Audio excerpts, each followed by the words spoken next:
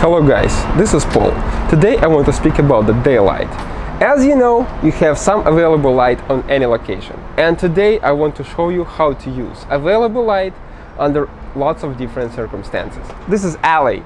This is just a shadow area where we have some backlight, maybe if you're gonna catch it.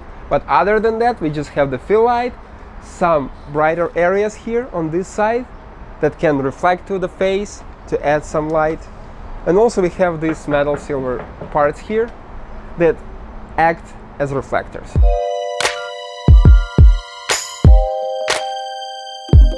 Turn your face to the light like this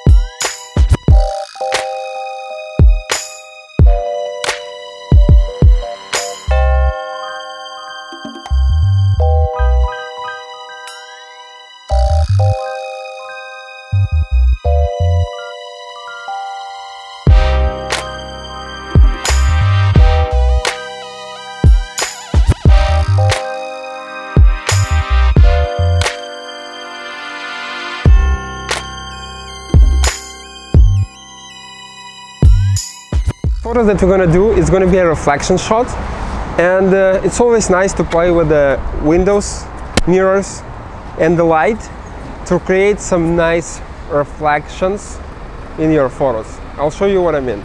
Setup that we're gonna use is uh, this reflective window wall. The reflective window wall that will create lots of nice reflections and usually girls uh, love this kind of stuff. Clean on the wall, so the first thing we need to show is the light on the face. And when we have nice light that is falling to the face, we can also get it from the reflection side. So we're gonna shoot some nice close-up portraits. Just lean on the wall, like a dreamy. Yeah, like this. It's very easy to use this kind of reflections and they give you this kind of unique perspective on the face, on the model, and uh, it's always nice to add to the story.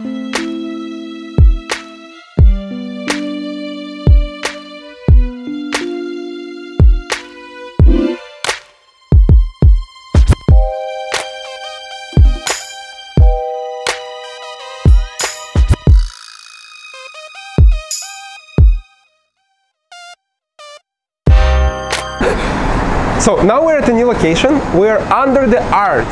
Also, we have light coming from the side. Do you see this? There is no light up. There is just light from the side. So when you have this kind of situation, the thing that you can do, you can use this light as a side light. And this side light can make you nice, good photos when you put your model on the bright side of this location. Of this location. So let's see what exactly I mean and how it works the best. Light from this side. And when we have light from this side, it works as a rim light. On the on the hair, we have nice light here. It's much brighter on this part because light is falling from this side.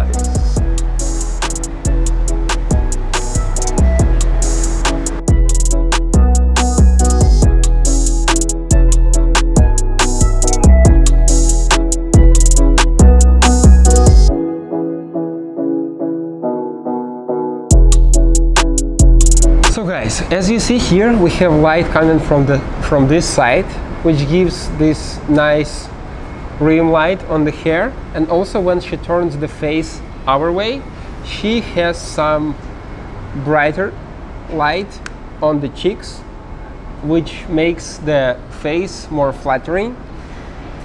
And uh, also we have contour light on the on her legs, on her hips and everywhere we need it. So it separates your object, your model, from the background. Hola?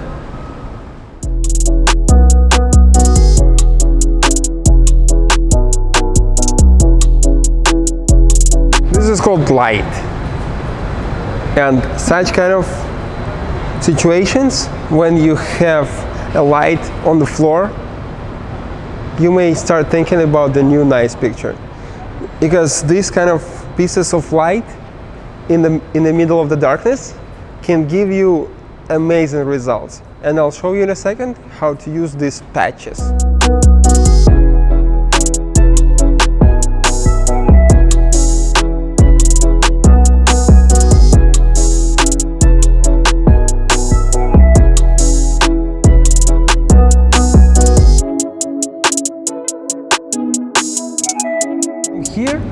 We have this rim light that make a silhouette out of her.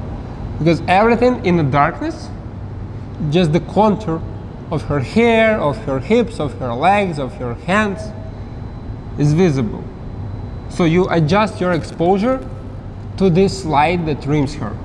And in this case you get a nice silhouette shot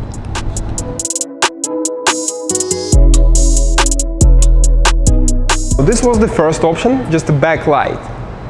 And you can create this kind of silhouette shots and also you can do something like this if you're gonna turn her face to the light.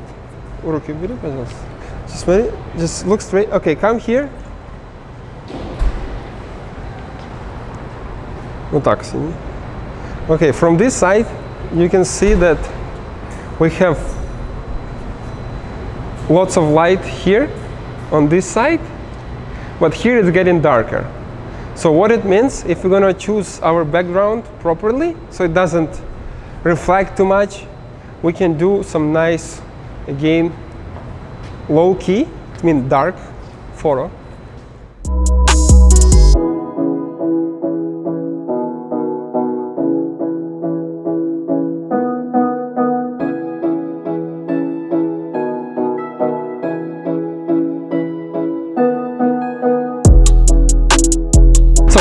Guys I showed you lots of different options how to use available light.